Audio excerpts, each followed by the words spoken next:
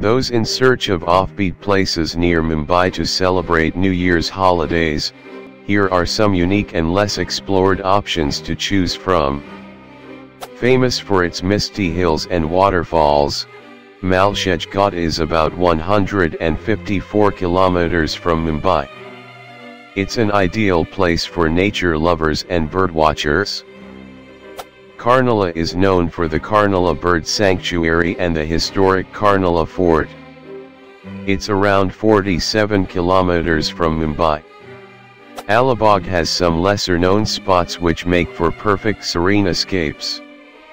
Beaches like Kihim or Awas are ideal for peaceful New Year's celebration.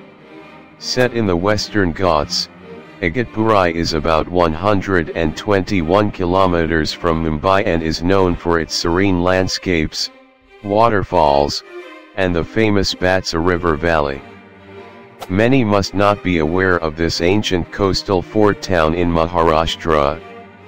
Murud Janjira is about 165 kilometers from Mumbai where people can explore the historic Janjira fort, and experience the local culture.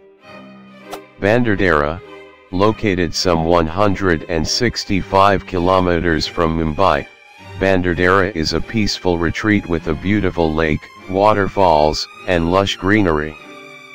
The place is less crowded compared to other hill stations in the state.